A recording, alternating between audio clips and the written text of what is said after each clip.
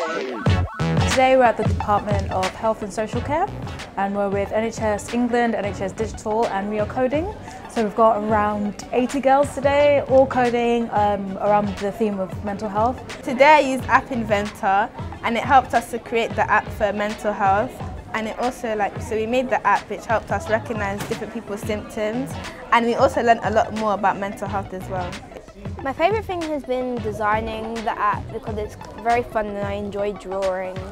It was really fun and you could do different levels of coding and you could make apps and you could use different coding apps and you could have really um, a lot of fun. I've learnt loads of new things here and different technology as well and how to use it.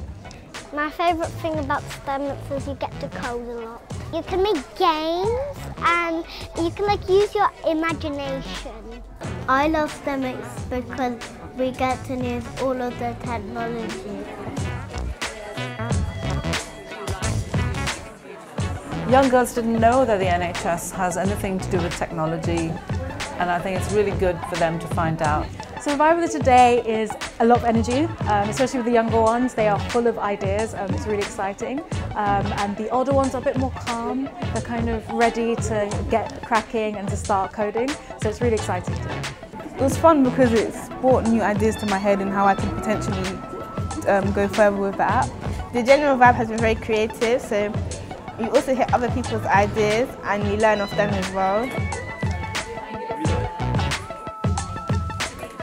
I know that there's not a lot of like young girls that are in STEM jobs and I feel like it's a really interesting um, subject to be part of. I feel like it would be good for me in the future.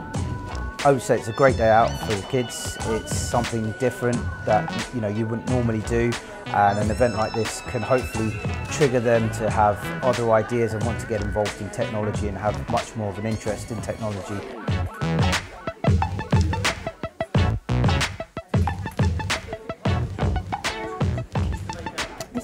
Good. I think um, it's a bit challenging, it's a bit exciting, it's quite new for the girls as well. So yeah, they're really enjoying it. It's a very good um, organisation and I think we should empower women more to do more science and STEM. It's been brilliant to be here today and see the energy and the hard work that's been going on in all of the rooms at all the different age groups.